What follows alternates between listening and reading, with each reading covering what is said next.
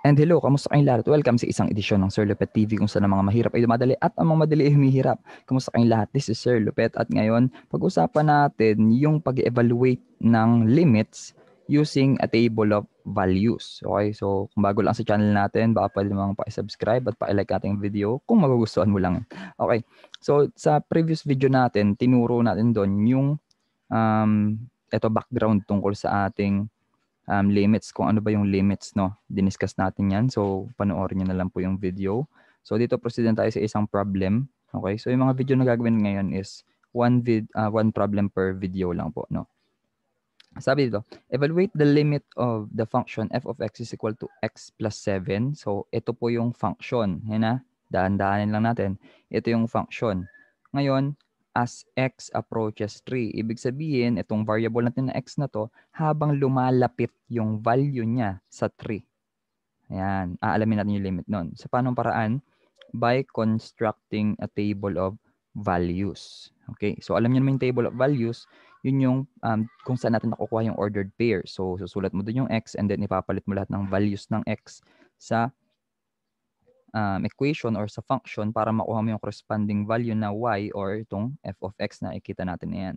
Okay. So, bago nyo tignan yan, huwag nyo munang tignan yan. okay, dito tayo. Um, paano natin i-interpret itong statement na to? Yan, dito sa general formula natin or sa theorem, limit theorem na tinatawag. So, yung f of x, papalitan natin yan ng buong function na x plus 7. No? Ito yung f of x, di ba? O equal daw siya sa x plus 7. So, papalitan natin to. Aalisin ko tong part na to. Yan, igagawin kong x plus 7. Or sa ibang um, reference, makikita nyo naka-parenthesis po yan. It doesn't matter naman kung naka-parenthesis or hindi. Yan. So, para lang nakahiwalay siya. Now, as x approaches 3, yung 3 po dito ay constant. So, papalitan natin itong c and then lalagyan natin dyan ay 3. Okay. Now, itong L, since yun yung hinahanap natin, ang ilalagay muna natin dyan ay question mark. Ayan. So, yun yung unknown. Okay, sana naintindihan nyo po. Now, reviewin lang muna natin yung number line. So, ito nandito na nakikita nyo na to. Ito yung number line. Okay? Na kung saan meron siyang arrow papunta sa aliwa at may arrow papuntang kanan. Kapag niretso po natin yung number line papunta sa aliwa, dun po natin naaabutan. Eh, ewan ko kung may nakaabot na sa negative infinity, no? Ibig sabihin yung pag infinity, napakalaking number na yan. So, negative integers yan. Pag sa ana naman po, positive infinity hanggang sa pinakamalaking number, yung pin, mas malaki pa sa billion, sa trillion, sa quadrillion, sa lahat, up to infinity, positive na po dyan papuntang kanan. Papunta naman sa aliwa, negative po dyan. So, ne- up to negative infinity. Now, para sa itong tatlong tuldok na to. So, nandyan yan para isulat ko dyan yung mismong ating um, yun, as x approaches 3. Ayan. Okay. So, ibig sabihin, itong as x approaches 3 na yan, eto na yon x approaches 3. Now, dito po, sa number line, para makita nyo po, for example, itong point na ito along the number line ay 3. So, itong point na to ay 3. Now, gumamit ako ng mga arrow dito para i-indicate na from negative infinity or from the left. Yan yung tinatawag natin, no? From the left or the left hand limit na tinatawag. So, from the left, papunta doon, palapit ng palapit sa 3, ano yung magiging f of x or yung value ng oh, y, yung pagkakaalam natin madalas. Now, pra, fra, tong arrow naman na to is from the positive infinity, papunta naman dito sa 3. Yan, kaya yung direction ng arrow papunta sa aliwa at dito direction ng arrow papunta naman sa kanan. Yan, ha- habang yung value ng x ay lumalapit. Okay, so proceed na tayo sa table. So take note yung function natin x plus 7 po, no? Okay, so sabi dito, ito yung left hand limit. Aalamin natin dito sa, um, may table tayo dito na kung saan yung first, second columns, um, nakapatungkol yan sa left hand limit, tapos right hand limit naman yung sa kanan. Now, sabi, left hand limit, no? As x approaches from the left. So, as x approaches 3, from the left. So ito yon Galing tayo sa kaliwa, papunta sa 3. Ano yung nagiging value ng f of x? Yun yon. And then dito naman sa kabila, ito yung right hand limit. Galing tayo sa kanan, papunta naman dito sa 3 ngayon as x approaches 3. Remember, yung x po ay variable.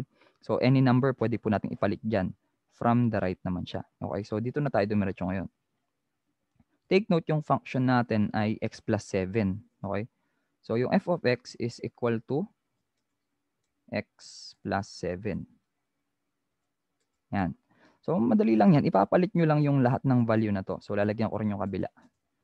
Yan. Hmm. Yan na, may x plus 7 na. So, ang gagawin nyo lang po, papalit nyo lang itong mga sinet natin na number na to. Now, explain ko lang bakit ito po yung mga sinet natin na number. Take note, si 1 ay mas maliit yan kay 3. And also, si 2 ay mas maliit pa rin kay 3 yan. Ibig pong sabihin, yung 1, let's say for example, kung ito yung 3, ito yung 2, ito yung 1, dito yung 1. So, from the left. Kaya sabi, from the left. Okay? Followed by 2. Hindi po ito standard, no? Pwede po kayong maglagay ng iba pang mga numbers dito na siguradong mas maliit sa 3 at dapat ang arrangement nila ay from least, yung pinakamaliit, papunta dun sa greatest pero hindi siya aabot ng 3. Yun po yun. Okay? So, kung papalit na po natin yung 1, So magiging 1 plus 7. So ano ang, kasi ito directly, directly yan, yung 1. Palit mo dito. So 1 plus 7 is 8. Okay? Now, yung 2, pwede rin natin ipalit. 2 plus 7 is 9. So, inuulit ko po, hindi po standard ito. Ba gawin nyo to sa lahat, no? Hindi nyo po gagawin yan sa lahat. Depende po yan dun sa number na pagkatapos itong arrow. Yan, 3. So, dito sa left hand, piliin nyo lahat ng mga numbers na mas maliit sa 3. And sa right hand naman, piliin nyo lahat ng mga numbers na mas malaki na sa 3. Okay. Now, 2.5 plus 7. Ang 2.5 plus 7 ay 9.5. Okay.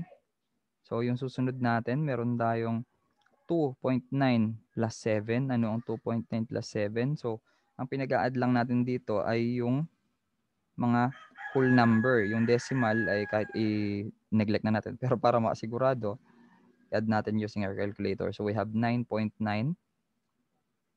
So itong 2.99 plus 7 naman natin. 2.99 plus 7. So this is 9.99. Okay, and then 2.999. I-add naman natin siya sa 7. That is 9. 9.999. Okay. So, mapapansin nyo po, habang yung dito sa kabila ay nagiging 2.999, lumalapit siya ng lumalapit sa 3. At the same time, yung f of x natin ay lumalapit naman sa anong number? So, tuloy natin dito. Sa anong number na siya lumalapit? Di ba? 9.999 ay malapit na sa whole number na 10. Okay. So, try naman natin dito sa kabila. So ito po. So we can say na yung left hand limit niya po, yan yung left hand left hand limit LHL no. Left hand limit ay 10, okay? Now tong sa kabila naman. Hmm, so kapag dito naman tayo, right hand limit naman. So ang nakuha ko naman ay yung 5 So 3, 4, 5, assuming dito yung 5 and then 4 and then yung mga number na mas maliit na sa 4, we have 3.5, 3.1, 3.01 and 3.001. Take note, ito pong number na to ay mas malaki pa rin yan sa 3. Okay? So ang ano dito ay wag siyang aabot doon sa 3. Okay. So 5, palitan natin, 5 plus 7 is 12. 4 plus 7 is 11. 3.5 plus 7 is 10.5. Okay? 3.1 3.1 plus 7 is 10.1. Okay? So nakikita niyo po ba yung pattern? So kapag nag 3.01 na po tayo plus 7 nagiging 10.01 na siya. Okay? And then 3 3.001 plus 7 that becomes 10 0.001. Okay? So ano pong napansin nyo? Itong value nito ay lumalapit na naman unti-unti sa anong number. So therefore, yung ating magiging right hand limit nito, yung right hand limit na right hand limit, yung right hand limit natin ngayon is also 10. Okay, now, ano ibig sabihin yan? Kapag po ganito, na pareho ang left hand limit at pareho ang right hand limit, parehong 10 yung sagot natin, 10 yung sagot natin. So, yan na po yung ipapalit natin dito sa question mark na ginawa natin kanina. Okay? So, therefore, yung limit po, no, the, pag binasa natin to, the limit of x plus 7 as x approaches 3 is 10. Okay? So yan po yung sagot natin. We have 10. And yung by way of using the table of values, ito po ang ating solution. So paalala ko lang po, hindi po standard na ito mga number na to ang ginagamit natin. Just make sure po na meron kayong progression mula sa um, kunwari pinaka medyo malayo tapos papunta dun sa palapit ng palapit. Ayan. And makikita nyo po na ang kanyang left hand limit ay 10, ang kanyang right hand limit ay 10 din po. Okay, so pwede nyo na pong gamitin yan sa mga iba pang problems na katulad ng ganitong pattern lang, x plus 7 or 7 plus x, pwede po yan. Okay? So, meron pa naman tayong susunod na video tungkol dito. Kaya huwag kayong mag-alap sa pag meron kayong nakitang mahirap sa mga modules nyo. So, maraming maraming salamat sa mga nakapanood nito. If nagustuhan nyo po ating video, paki-like naman po. At kung bago po sa ating, sa ating channel, paki-subscribe na po ang ating channel.